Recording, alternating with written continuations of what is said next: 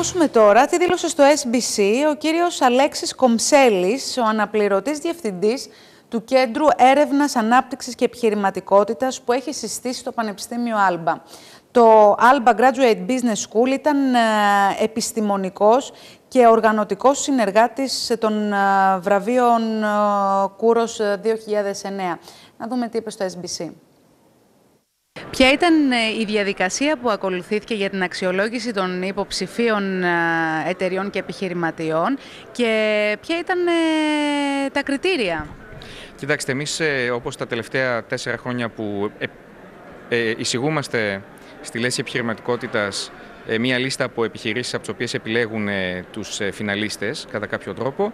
Χρησιμοποιούμε στοιχεία των ισολογισμών, περνάμε όλες τις επιχειρήσεις από τη βάση δεδομένων την οποία έχουμε και βρίσκουμε ουσιαστικά τους επιχειρηματίες οι οποίοι αντιπροσωπεύουν την, ε, το F επιχειρήν, δηλαδή έχουν σημαντική ανάπτυξη κερδών και σημαντική ανάπτυξη κύκλου εργασιών την τελευταία τετραετία.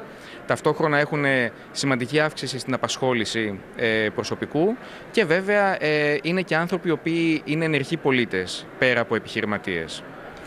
Τα επιμέρους κριτήρια είναι για τα βραβεία Κούρος οι επιχειρηματίες να μην ξεπερνούν τα 45 χρόνια ηλικίας, ε, να είναι διευθύνοντες σύμβουλοι ή να έχουν ε, συντελέσει ουσιαστικά στην ανάπτυξη της επιχείρησης τα τελευταία χρόνια και βέβαια κάποια οικονομικά μεγέθη, όπως ο κύκλος εργασιών ανάλογα με τον κλάδο, αν είναι παραγωγή ή παροχή υπηρεσιών, να είναι περισσότερο από ένα συγκεκριμένο ποσό, ας πούμε 3 εκατομμύρια ή 15 εκατομμύρια.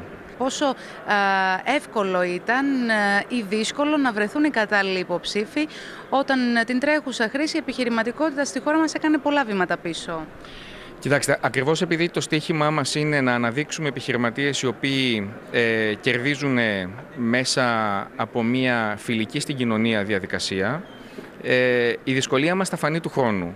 Ευτυχώς φέτος διαχειριστήκαμε τα οικονομικά μεγέθη της περασμένης χρήσης. Τα προβλήματα όμως αρχίζουν να φαίνονται.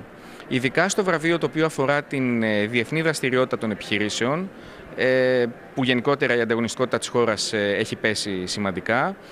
Ήδη φέτος είχαμε προβλήματα και δεν ξέρω και τον τελικό νικητή, μπορεί να είμαστε και προεκπλήξεως απόψε. Φοβάμαι ότι του χρόνου θα έχουμε ακόμα πιο σημαντικά προβλήματα.